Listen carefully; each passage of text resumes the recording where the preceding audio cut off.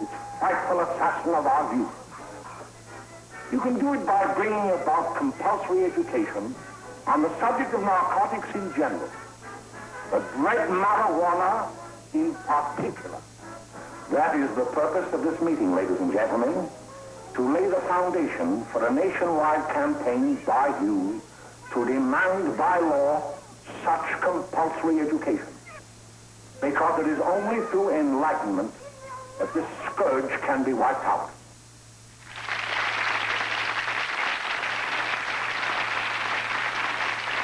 That movie doesn't sit too well with Steven Hager, the editor of High Times, a favorite magazine for marijuana lovers. On the other side of the issue is Rob Simmons, international program director of Just Say No. Welcome. Thanks for coming on the program. I don't expect anybody to convince anybody else on this program, by the way, but this is, let's lay out the issue here. Steve, you're for the legalization of drugs, in particular marijuana. Why? Well, I think that film pretty accurately shows what we're up against, which is a very powerful disinformation campaign to uh, convince people that marijuana is a bad thing. And uh, there's a huge information gap here, which we're trying to fill. Most people in America don't realize that George Washington was a marijuana farmer, that the first American flag was made out of marijuana, that the Constitution was written on marijuana. You mean Betsy Ross was in there and she was sewing away and maybe well, taking a little hit on the side? And... I'm not saying that they smoked it, but it was called hemp back then. And hemp and marijuana are exactly the same thing. And every prairie schooner that crossed the West was covered in hemp. And every soldier of Valley Forge wore clothes made out of hemp. And when this country was founded, if you were a farmer, you were required by law to grow the crop. And in, during World War II, the government made a propaganda film to encourage farmers to grow it again, and it was called Hemp for Victory. And there's a tremendous information You think he's kidding, here. but it, it's, it's true. I mean, the hemp is, is good. You get oil from hemp, right? Ten times as strong as cotton. You can make four uh, times as much paper out of an acre of hemp as you can out of an acre of trees. That's right. Now, the Department of Agriculture did that study in 1916, and since that time, we've deforested half of North America to make paper out of trees. Okay. But let me let let's be honest here. Do we are you interested in the legalization of marijuana in particular because of all the great things you can make out of it, or do you just want to get high with impunity? My fundamental priority here would be number one, we've got to stop incarcerating people. We've got 50,000 people in jail, locked up in cages with their lives destroyed right now, whose only crime is that they wanted to smoke marijuana. Mm -hmm. We arrest 300,000 people a year for the possession of marijuana. It's the, by far the biggest problem clogging our criminal justice system. There are several million people, people with glaucoma, with AIDS, people with cancer, uh, multiple sclerosis, epilepsy, muscle spasms. These people need it for medicine, and it's denied to them. Mm -hmm. So my priority is first, let's stop incarcerating and, and destroying people's lives because of this, and then let's get the sick people the medicine that they need. And after that, we can talk about whether we can smoke it recreationally. Okay. Rob, of course, you disagree. Right. Why? Uh, well, basically, I mean, Steve's points are, are interesting ones. Fortunately, they're, they're I think, misguided.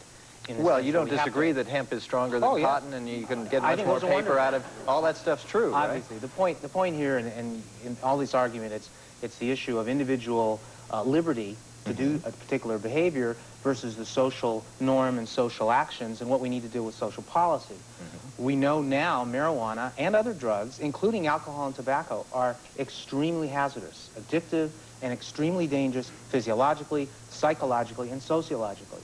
We got enough problems with alcohol and tobacco, and of course I'm representing an organization representing our young people.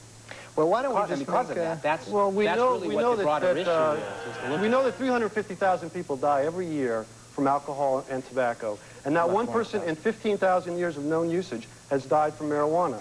So well, if we're going to talk about problems, why is it that we have uh, a campaign on television for $300 million a day, we are bombarded with disinformation about marijuana, and the Partnership for Drug-Free America doesn't say one word about alcohol and tobacco. And I, okay, at that point... Why, why not? Let's, totally let's make alcohol that. and tobacco I illegal. I totally agree that? with that. We're, our focus with young people is tobacco and alcohol are the number one gateway drugs. So we focus on that 100%. What are gateway drugs? Gateway means leading to other substances. So if you smoke the Marlboro, you're going to get heroin no, in a few no, years? no, Is that of course the not. deal? But, what, but obviously what that Mother's means is milk that leads to everything. when you doesn't when you interview when you interview users of other Well, you brought it up. yeah, no, I didn't bring that up. I, I, the point is that when you ask users where did they start, they started in most cases with tobacco and alcohol. So I totally agree with you in that we have uh, certainly uh, uh, want to get the uh, partnership to include tobacco and alcohol ads, but it's still the point here is we already have enough problems in our society. Why do we need to legalize and create increased interest Because, in other hang on drugs? sec, hang on a That's the point. We got a lot to talk about here. We have to take a break now, but joining us next is a staunch propon proponent for the legalization of drugs and a man whose occupation is to stop it. Stay tuned.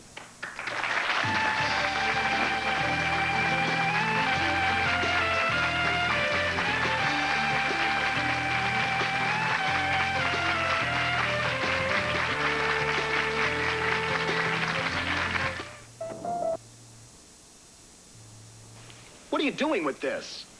Nothing. I mean, you know what to do when someone offers you drugs. Just say no. You want a hit? No.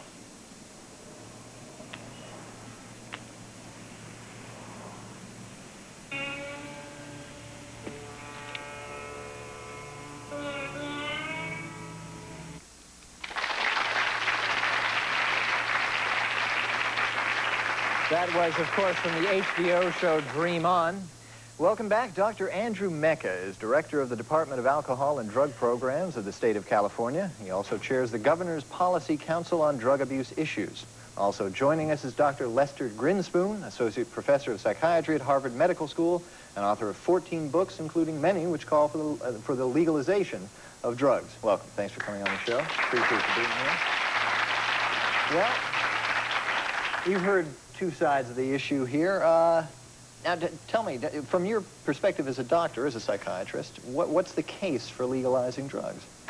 Well, when I first started to study marijuana in 1967, um, I believed the common wisdom that marijuana was a dangerous drug, an exceedingly dangerous drug.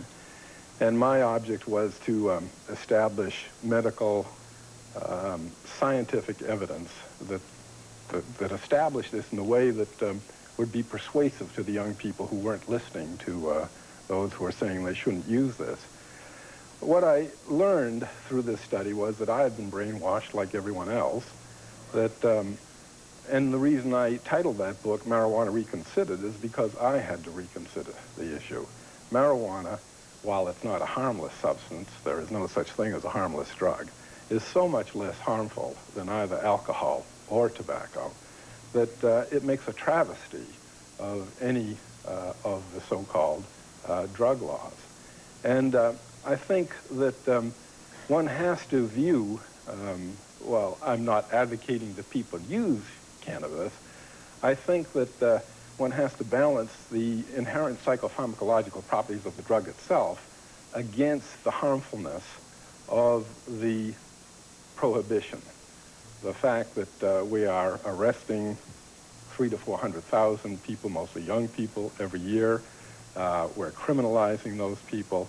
The invasion of our civil liberties, which is taking place as a consequence of this, and also the fact that we are trampling uh, the rights of those people who believe that marijuana is useful to them for a whole variety of reasons. Okay, I want to get into the medical uh, issues and, and the beneficial uses, as you say, for, for marijuana.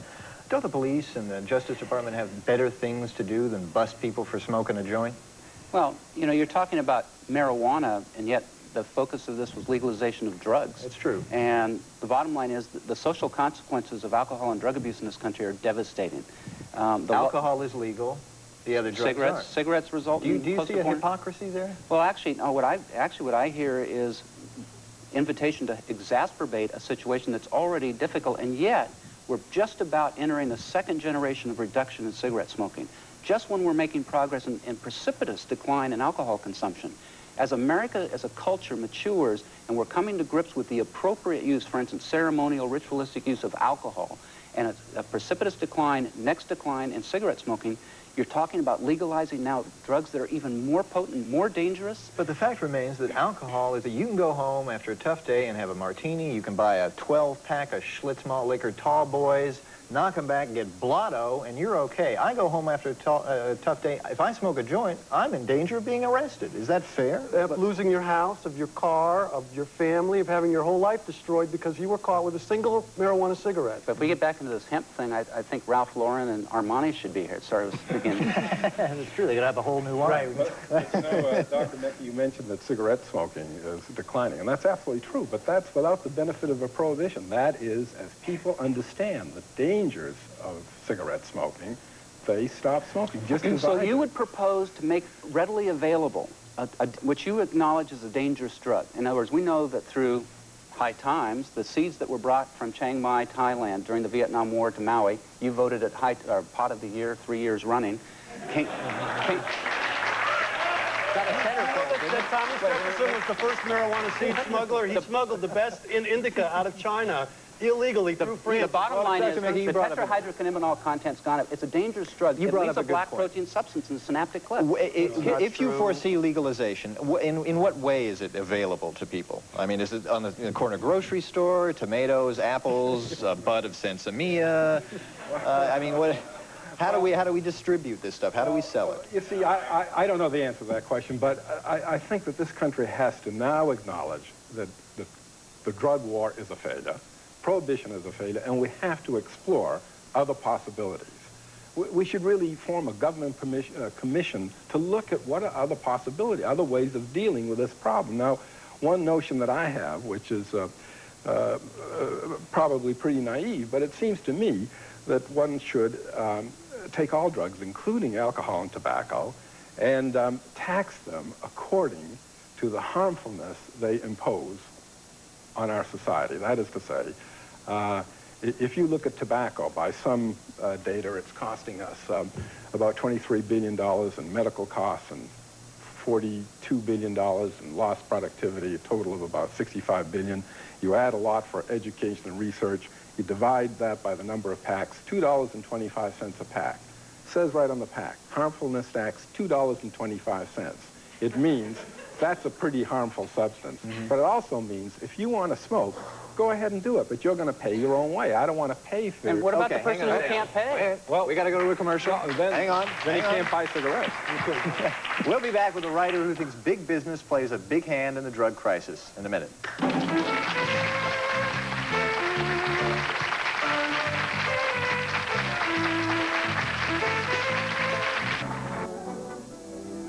Hemp was an important crop in Kentucky and Missouri. Then came cheaper imported fibers for cordage, like jute, sisal, and manila hemp, and the culture of hemp in America declined. American hemp must meet the needs of our Army and Navy as well as of our industries. In 1942, patriotic farmers, at the government's request, planted 36,000 acres of seed hemp, an increase of several thousand percent. The goal for 1943 is 50,000 acres of seed hemp.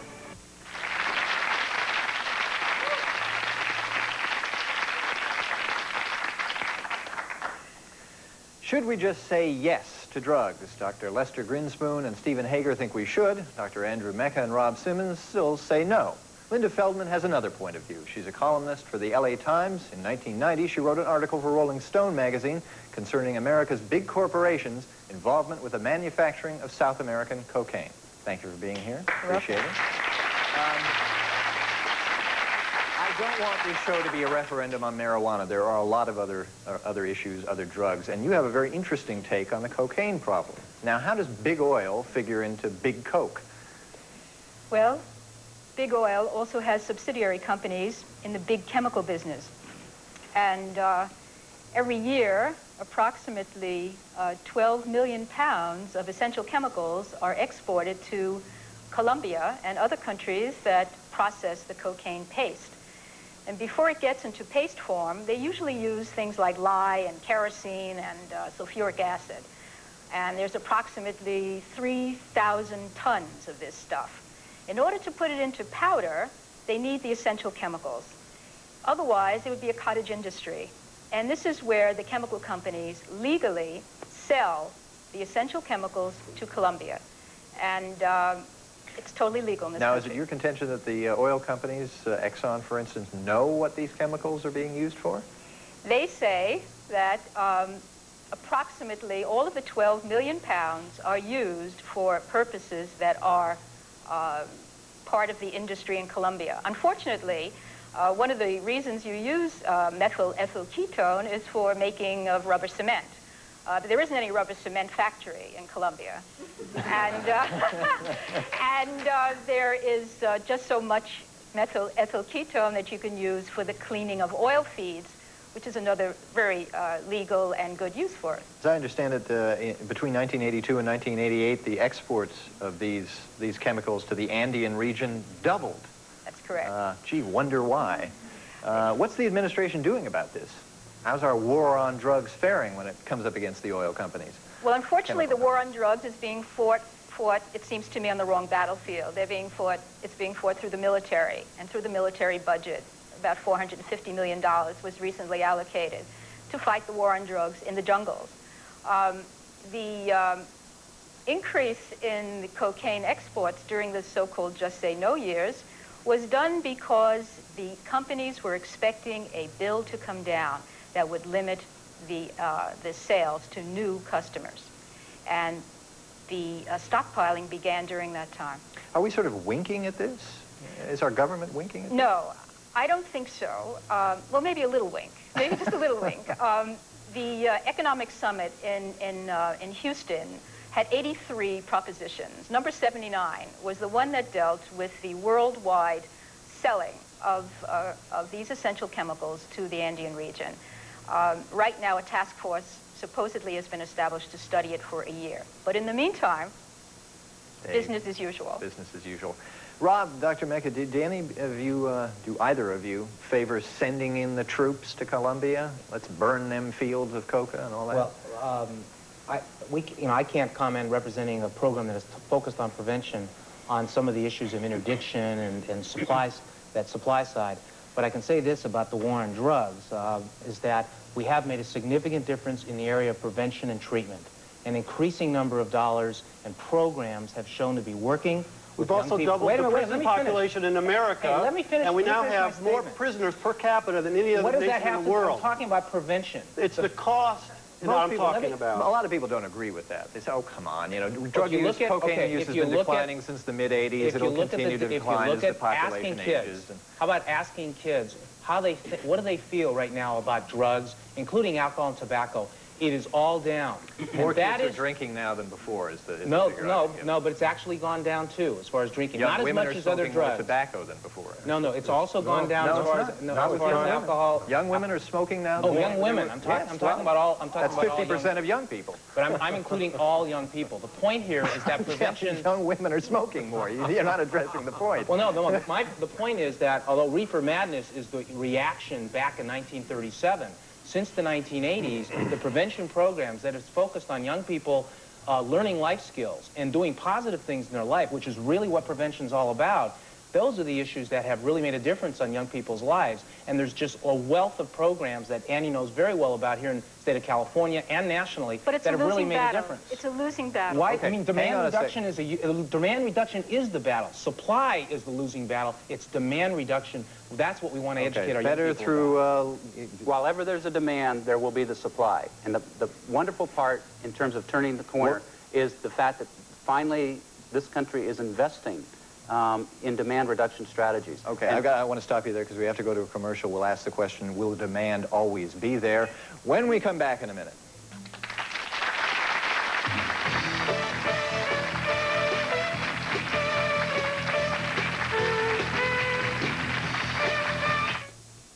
The grand opening of Carpet Barn's newest store is a very good reason to celebrate with a huge grand opening sale at all Carpet Barn stores.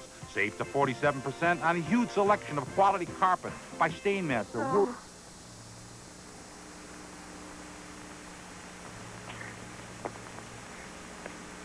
Plain cigarettes I ever tasted.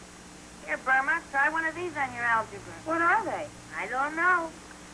We tried Tony's giggle water. Let's try his giggle weed.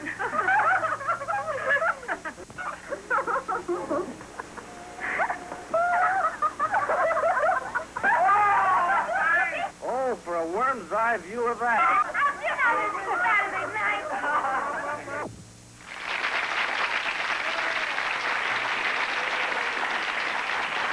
We're back discussing the possibility of perhaps legalizing drugs.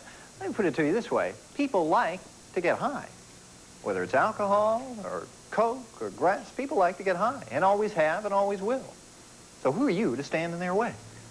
I, I, I think the general public is, is unanimously in support of maintaining the current laws against drugs. And, and I would pose, I would pose to anyone. But that's not the point. Any naysayer, I would pose three questions to anyone that would even think of legalizing as a public health approach to this epidemic that's been the number one cause of death in this country. Would you supply all drugs to people of all ages? Cocaine, I don't think, PCP? Uh, let's dispatch with the children. I don't think anybody believes that you should give cigarettes, alcohol, coke, grass, heroin, But anything to children. Then, then the do to rationale, the rationale is to stuff? eliminate the black market. 50% of the black market is for kids 18 and under. Is it a health issue or is it a moral issue to you? Hang on a sec. You'll get a chance. Hang on. Is it a health issue or is it a moral issue to you? Oh, it's a, it's a health issue. Okay. More people die as a result of alcohol and tobacco abuse than all other illicit drugs combined. And, so let's make those illegal. they're available. And so you're going to make readily available more drugs that are actually more potent. Hey, as So- you say, as, as everybody agrees, all these other drugs are readily available too. Oh, it's no, no, just no. that they're There's illegal. economic barriers. If you, if you legalize these, I was, I was Well, if in they were, heroin they were so hard to get, why gives there the government the right to take the medicinal plants out of the cultivation of the people and say the people can't have these medicines that they've had for thousands of years? Even the, if the it's not a medicine. alone Okay, well, even if it's not a medicine, even if it just gets you high, so Her- does heroin in alcohol, Southeast and Asia legal. was readily available and very inexpensive, and lots of GIs. I ran the drug programs in Vietnam. Lots of GIs used it. When they came back to How many US, drank? Lots of people drank, but it was readily Maybe they were available. trying to But the- escape a terrible But the war. model, what you're talking about, is when there's availability and when there is not economic, and when, when the laws don't exist, people will use it and self-medicate to self-destruction. It's not just, if it was just you, you wanted to shoot heroin and take cocaine and smoke your hemp, be fine, except then you're laying in the street, driving a car, incapacitated. We're having to pay the health care premiums as a result. We have to pay it for tobacco. Louis also. Armstrong smoked why marijuana is every that- day of his life and was the Rob, will greatest you- trumpet you player that ever lived. Hang on. Will you address the hypocrisy here for me? Because, you know, whether you say grass and coke is bad for you or good for you or whatever it might be, there is a central Well, it's, hypocrisy it's, here. it's definitely not good for you. no, when it's you not say good, for you, as even the good I- doctor will, will claim. But there's an essential hypocrisy here. Well, the We question- say that tobacco and alcohol Right. are fine. We, we promote the, The point- growth of tobacco. Well, in here's, this here's country. the It kills here's the point. 300,000 people a You year. if, if today, right now, this country had no history of tobacco and alcohol use, with what we know about tobacco and alcohol, it would never be legal. It has a history But- of cocaine and marijuana use Ah, but the, hi- oh, but the to be in history, there's a big, oh, there's a big difference between a There were no prohibition laws when this country started. Is that, is that some people prefer alcohol, point that's is- their drug of choice, and they're in power. The point is, these are very harmful substances. And the question is, because we have legitimized a two harmful substances, does that mean we're going to now legitimize all the other harmful substances? Maybe we, does well, that how make any about making sense? those harmful substances illegal then? That's an issue to that be- a lot of people be, will say. uh, it has, consistent. It has But your, your issue so. here is to legalize other drugs. It's true. Well, I So- think one issue speaks to the other. No, no, it doesn't. Oh, yes, do you, it do you- does. no, no, it doesn't. oh, yeah. Are you going to are you going to legalize cocaine? And as we've discovered, as now crack becomes available, which is less expensive, more people are using it. We've got 72,000 babies a year just in California being exposed. Prohibition doesn't work. Oh, oh, how many more babies are we going to have if it's readily worked. available? Maybe perhaps education. the coca The bottom line is available. interdiction is beginning to work. I just got back from Spain, worked with the military intelligence over there. 30% of the cocaine world supplies are now being diverted to Europe because it's a new market. The and I've heard interdiction we're interdicting about 10%. But you can't just throw figures out. I mean, that's Well, my job. but I'm, that's my Your official figures are okay I- and my figures My figures are accurate. Uh, well, so are mine. I mean, this No, came no, from the I'm DEA, this 10% figure. The Coast Guard says we're only catching about 10%. You know, the, Ron, The the bottom thing- line is cocaine, the price of cocaine in Los Angeles has gone down to $6,000 a kilo. And that's far How less than it used to fifth be. of uh, gin? It's readily available. The It's- availability and the Exactly. price of Exactly. cocaine, uh, cocaine is more cheaper now and more read- readily available than any drug in America. And, and you're trying to tell me that the war on drugs Because demand- success? Yes. You've taken the most dangerous substances and making them the most readily available, and you've taken the safest and making those the hardest and most expensive. You're saying heroin, cocaine, PCP, and psychedelic drugs are the safest? I'm saying that cannabis is the safest known therapeutically active substance known to man. Dr. Dr. Grinspoon, how, how safe is cannabis? What is it used for medicinally? And how about coke? Uh, morphine and cocaine you can get out of, a, out of a pharmacy. That's legal for medical use. Cannabis, no. Why? Cannabis is uh, of all the psychoactive drugs, clearly the safest. Uh, it is um, a drug which is not addicting. There have been many myths about uh, uh, cannabis. There continue to be many myths.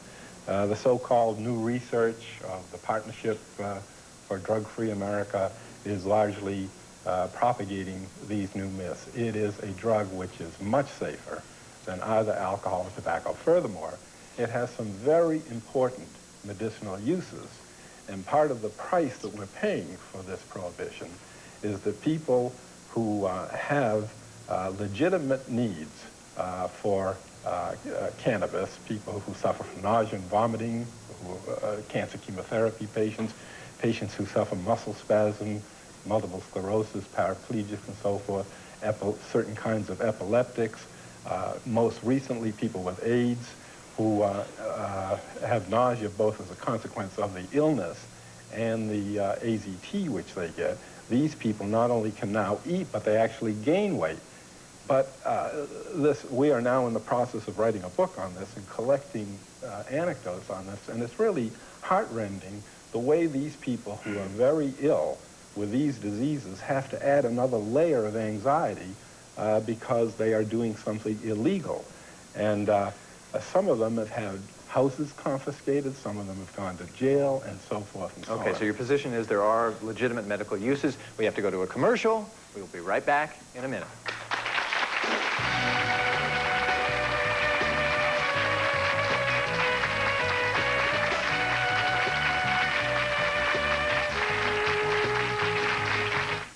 In 1958, little Al Bundy made a decision how to live that... your life.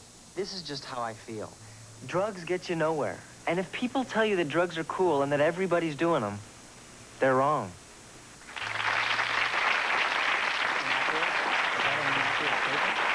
We're back with our guests, Rob Simmons, Dr. Lester Grinspoon, Linda Feldman, Dr. Andrew Mecca, and Steven Hager.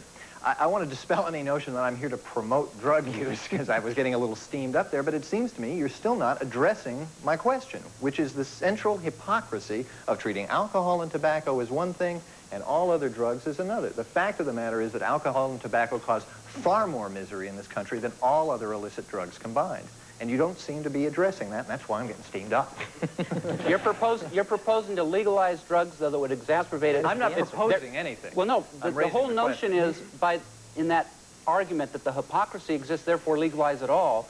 If cocaine, or make it all illegal. If cocaine, that might be... We, we tried to make alcohol illegal, and the price was greater and than, we, and we have a lot allowing more, it in, in, wait, into And we have a lot more information. See, the problem when you that talk about, wait a minute, when you talk about who used it 50 years ago or 100 years ago, they didn't have information. They didn't know the damage of tobacco and alcohol and now marijuana and other drugs. We are a lot more, we have a lot more information now than we but did then. isn't See, this a free society? Oh, Aren't we supposed to have the right of choice in these if matters? you're going to do that, you do. How about if I'm not wait, hurting you, if I don't want to drink and I want to smoke a joint instead of drinking, don't Hold I it. have a right as an American Hold to do it. that? It's not about that right. It's about when do your rights end Stop. and mine begin and everyone else's begin. In other words, don't step on my rights.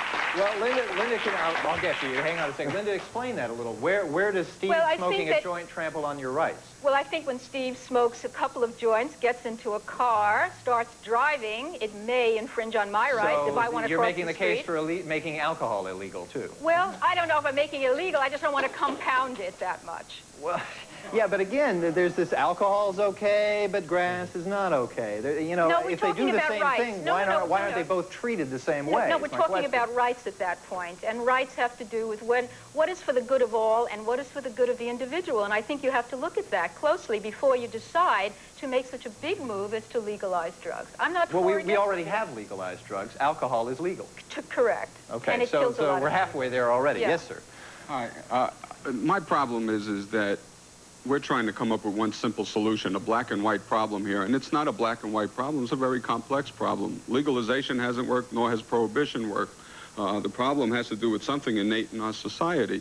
Uh, I, I'm going to sit here and listen to a doctor tell me that uh, marijuana is not a problem. I heard that 15 years ago about cocaine, and I, I run a treatment facility that has lots of cocaine addicts in it, and the me- medical profession is now saying there's a problem with cocaine.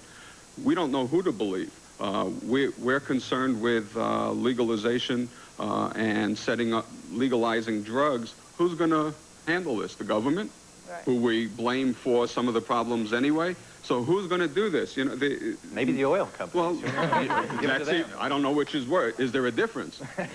Good Uh, question. the problem is is that everybody's trying to be right, and the the, the solution, if we're going to find the solution, is going to require everyone sitting down and not trying to be right, but trying to find out the common grounds of what's going to work. Dr. Grinspoon, you favor the legalization of all drugs. Is that right? PCP? I mean, No, no, I- glue I- sniffing? I, I, I- I favor uh, looking, uh, first of all, I favor the legalization of marijuana right away. I think that, uh, that, uh, that uh, had we done this uh, some time ago, we would have much more credibility as drug educators about these other drugs. But part of our problem is that we say that uh, PCP is dangerous. These young people say, ah, they told us that about marijuana and so forth.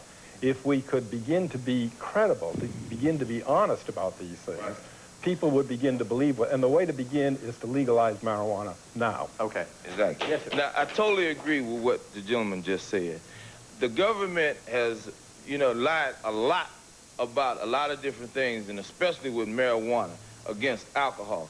The big major thing with uh, marijuana, it makes people paranoid because they can go to jail. That's the only thing really wrong with it. Oh, that is ridiculous. No, no, That's no, ridiculous. no, no, That's you can't say that's thing wrong with ridiculous. marijuana?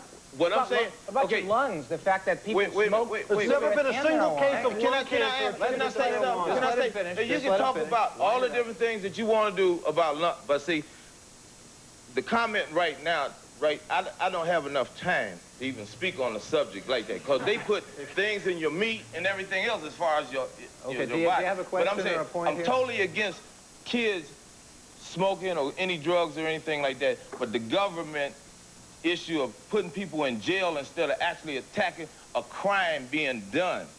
Okay? You attack the crime that's being done instead of putting somebody in a criminal element for using. Okay. We had a, there was a problem, uh, he makes a point about government credibility. Uh, and back in the 60s and 70s, the government was, of course, you know, reefer madness and stuff, and they're telling us. And kids found out that it really wasn't true. And it destroyed the, the government's credibility in that area. Have you ever smoked grass? Oh, yeah. Yeah. Years ago, so you know that it's not the six- devil yeah. drug that That's the- everybody well, that was know, the problem with movies like How about you, Dr. Mecca? You smoke grass? in college, and if I knew then what I know now, I wouldn't have, because what I think is being sold here is the premise that it maybe isn't a dangerous drug. It is a dangerous drug. I don't think you're up for a Supreme Court judgeship. Show me a single dead body. Show me a single dead body from marijuana. No, you know, I really, I feel there's one, because I love, I love the repartee, and it's, it's very stimulating, but there's also millions watching your program. It's a hit. Who are out there, who, whose families have suffered children's losses, or Yes, the ones that are in jail. Excuse me. The fact is, there are a lot of people who've been personally touched by this problem, the magnitude of it, who might be sitting back going, oh, my Lord, is, are they really talking about legalizing? I need to, to reinforce the fact there isn't a responsible, publicly elected official out here who would lead this country towards legalization of drugs, Well, including there was- marijuana. There was George, there was George Shultz. I debated George Schmoke Shultz of in Commonwealth Philadelphia, and he there's William F. acknowledges Buckley Jr., he's off the Milton mark. Friedman. We're not the only ones talking about Friedman. it. We're Gatewood simply Galbraith raising an just ran for the governorship of Kentucky on the Democratic platform uh, to legalize marijuana in Kentucky. It's wonderful seeing the cerebral academicians who sit behind closed doors dreaming of what the ideal economy would be. Isn't that what you Market forces. No, I've worked you in all about 58 the, counties the, in the, the, state. uh, the uh, casualties of marijuana is use. The casualties are the sick people that can't get it as medicine. Hang on a sec. Guess what? Got to go to another commercial. Be right back.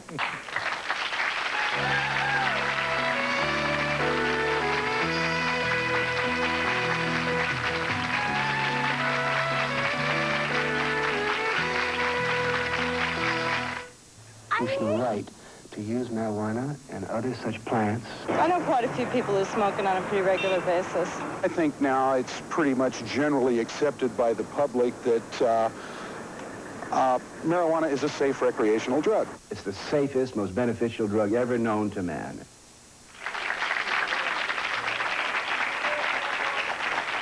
We're back.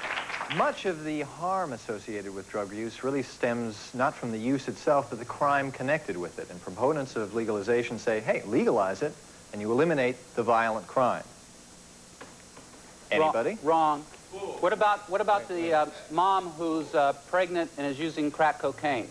What about the violence she perpetrates on the fetus? What about the crime perpetrated by people who go on crack runs and then become paranoid and violent as a result of the drug on other individuals? Those are not crimes to support their habit. And also, what if the drug was readily available and then their life was centered around? We know that people self-medicate with co cocaine when it's readily available till they die rather than eat and sleep. Mm-hmm. What about the, the welfare costs, the health costs, the violence, the criminal justice costs associated? And it has nothing to do with crime associated with trying to steal to support their habit. it is Steve, one of the about spurious those- those arguments ever made. Crazed, paranoid crack addicts out there. There are a lot of uh, crazed people run, running around on alcohol, too.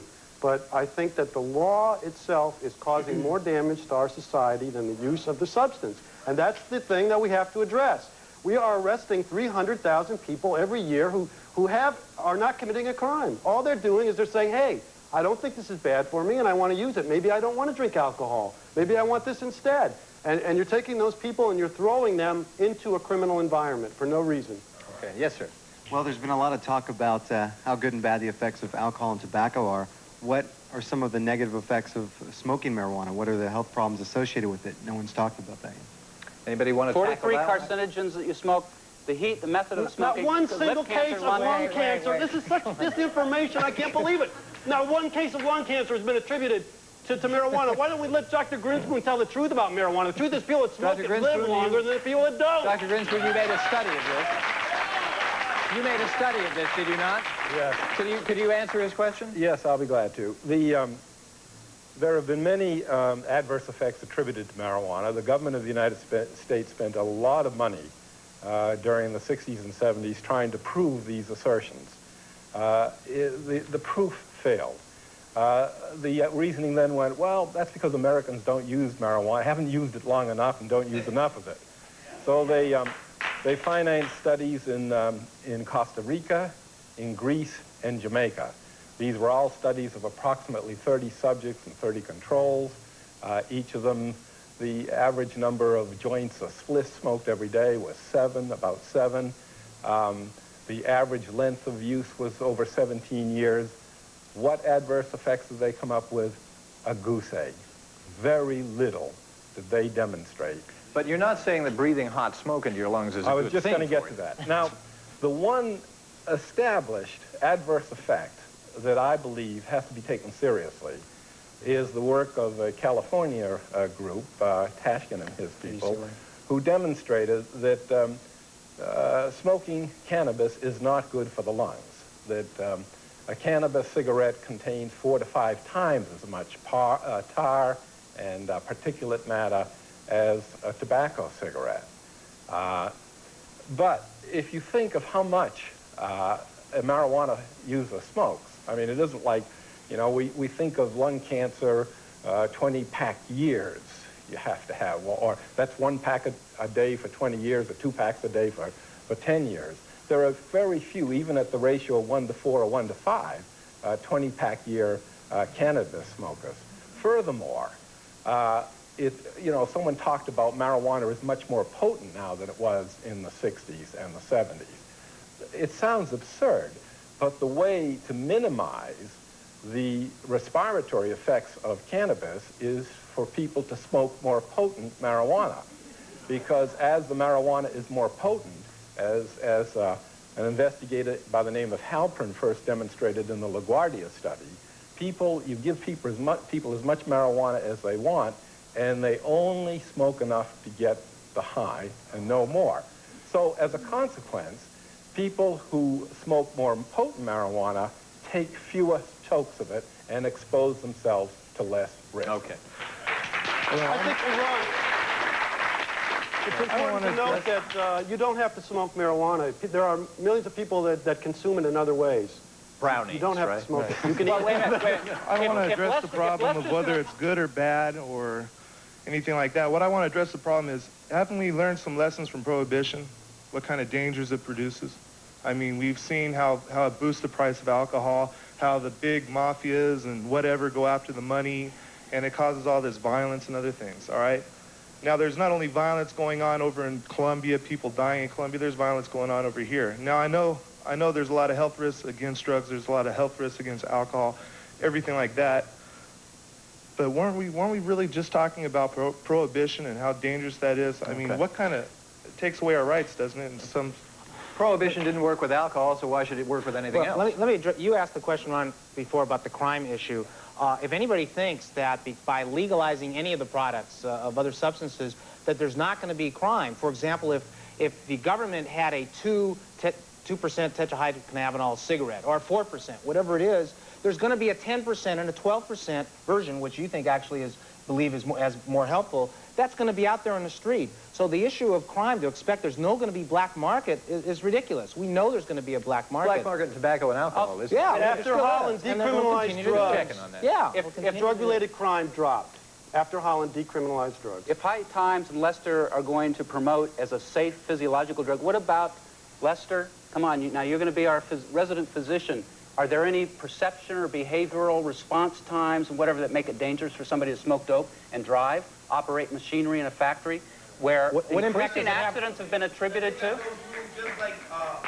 What impact does it have on the development of adolescence? We know that's a very serious problem in the growing, with young people growing Again, up. what about alcohol and tobacco? You're right, The- but Well, there's much, but yes, there's more likely, right. Ron, there's much more likelihood, in, and, and comment to what Andy said, there's much more likelihood that we would eventually, with the information we have, leg, illegalize, again, or make it illegal for tobacco and alcohol than there is to condone all of that and go ahead and say, well, we, we can't, might as well can't throw the. Bill of We're Rights right out if the I'm wrong. Rob, aren't we still subsidizing tobacco growers? Yeah, I know, and that's, that, that's a fact policy is, we have to through demand, Ooh, sounds like We're hypocrisy gonna, to me. everyone here is going to live to see a smokeless America. We are making progress with cigarette smoking. That's, that's Alcohol not your role to demand that people not smoke anything. It's this country choice. started, We're there were no legislating it. prohibition laws at all. That's the way it's supposed to be. What's the goal? What's the, what are you saying? What's the goal of legalizing drugs? What, what is the goal? I don't understand it. To stop arresting I- I people it's and an issue of- incarcerating them. For many people, it's an issue of civil rights.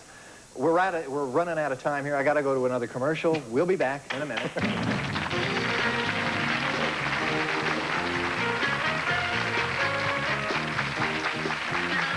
Promotional consideration provided by Music Express with offices in Los Angeles and on the East Coast.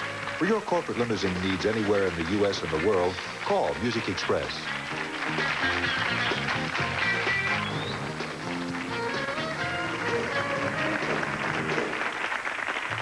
We're back. Keep it up for D.A. Young and Dr. Bombay. Okay, I want to thank our guests, Rob Simmons, Dr. Lester Grinspoon, Linda Feldman, Dr. Andrew Mecca, and Steven Hager. Well, hey, I want to say again, we are not promoting the use of any drug here, including tobacco and alcohol. We can all agree to disagree. This is America. We can go have a beer on it later, right? We're out of here. They're called MIAs, soldiers missing in action. But what action is being taken to bring them home? Hear both sides of the story from the MIA's families and those with the power to bring them back alive tomorrow on The Ron Reagan Show.